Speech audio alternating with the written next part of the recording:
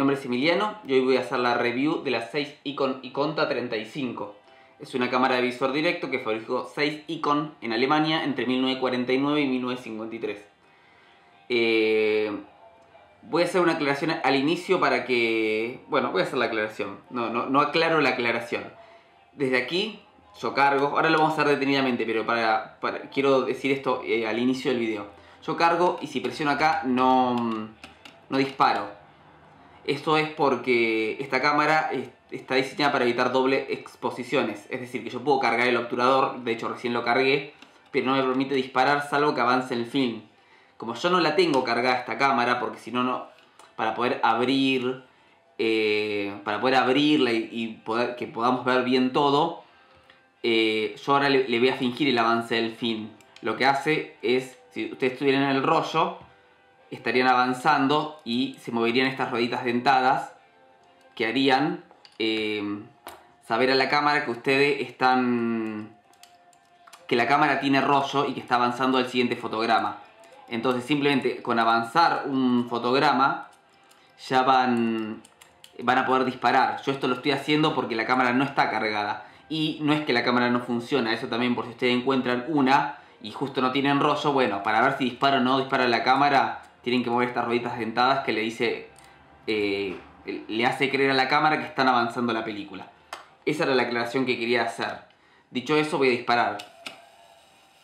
Ahí está. Entonces, vamos ahora a ir viendo cómo se funciona. Tengan en cuenta eso. Si yo vuelvo a cargar el obturador, intento otra vez disparar, voy a tener que hacer eso. Que no lo tendría que hacer si yo tuviese rollo puesto. Avanzo al siguiente fotograma y listo, me lo carga automáticamente. Bien, Vamos, entonces, ahora sí. Eh, de acá, desde esta ruedita, manejamos las velocidades de obturación, que tenemos desde bulbo hasta 1300. El obturador de esta cámara es un Prontor SB.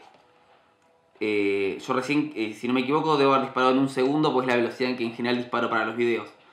Entonces, desde acá, hay una niñita roja, la tenemos que hacer coincidir con la velocidad que queremos y disparamos. Cargamos como cargamos al inicio y desde acá vamos a disparar.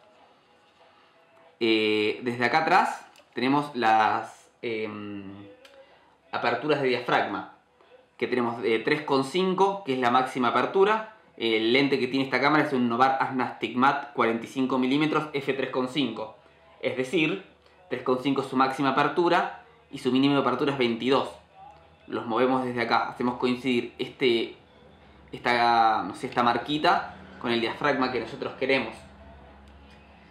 Y tenemos una mini ayuda de enfoque, que es la siguiente. El enfoque se realiza desde acá, moviendo el lente, que tenemos desde 0,8, es decir, desde 80 centímetros hasta infinito.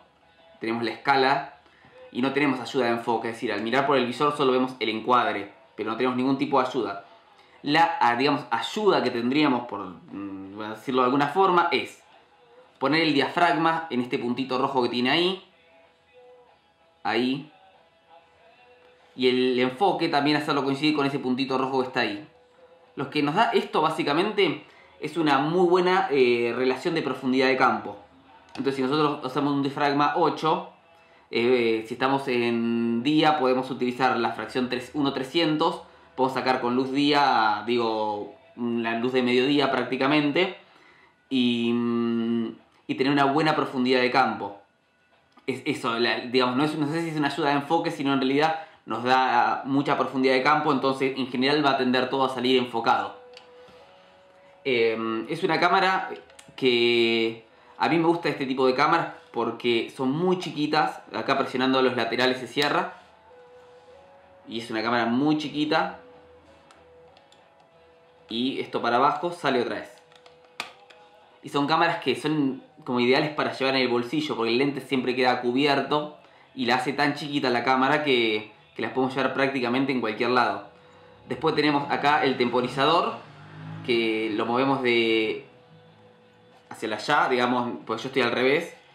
Lo movemos de derecha a izquierda o de izquierda a derecha, depende de cómo uno lo mire. Y carga. Entonces sería lo siguiente, yo eh, voy a hacer ese avance fingido que les conté al inicio del video. Para que cargue, para poder disparar con el temporizador. Ahí está. creo que ahí tendría que estar cargado. Voy a, el temporizador lo, lo llevamos para allá y disparamos. Corre el temporizador, dispara luego el obturador.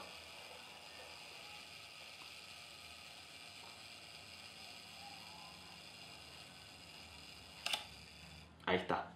Acá tenemos la sincro del flash XM. Tengan en cuenta para usar el, temporizador tiene que estar en X. Si está en M no lo van a poder usar. Tenemos acá su respectiva zapata de flash. Esto no me acuerdo si dije anteriormente, pero bueno, es el visor por el cual vamos a hacer nuestro encuadre. En la parte de abajo tenemos acá el contador de fotogramas. Tenemos la rosca para trípode en la tapa, que a la vez oficia de base, pero ahí es la tapa. Y al momento de abrir la cámara, lo hacemos desde acá, presionando, este, presionando nada, tirando para abajo. Ahí va. Nosotros nuestro rollo lo vamos a colocar acá, tirando esto para abajo también. Lo colocamos, lo vamos a recorrer por acá. Los, eh, los cuadraditos que tiene el film de 35 milímetros los vamos a enganchar acá. Y luego la puntita la vamos a enganchar acá, que tiene distintas ranuritas para poder enganchar. Entonces cuando nuestro film avance, esto es lo que le decía al inicio, al mover esto va a entender la cámara que está avanzando la película. Vamos a cerrar acá luego, para que quede obviamente el rollo ahí. Esto es para sacarlo y, ponerlo, el carrete de 35 milímetros. Vamos a cerrar. Cuando queramos, eh, acá hay que... Ahí, digamos, cierro, cierro. Eh, al momento de que se termine nuestro rollo, vamos a sacar la última foto, no puedo avanzar más. O sea, esto la A y la D es Advance, Avance, Rewind, Rewind, como sea, rebobinado. Eh, voy a apretar este botón, que es el botón de rebobinado, y ahí le voy a dar para poder rebobinar mi, mi rollo de 35. Es una cámara simple, a mí me gustan mucho las cámaras estas que son pensadas tan, tan chiquitas, tan prácticas para llevarlas siempre con uno. Así que bueno, si quedó alguna duda, alguna consulta, no sé, algo que no dije y no expliqué bien, me escriben y si mm, les gustó, les sirvió el video, pueden gustear el video y o se pueden suscribir al canal.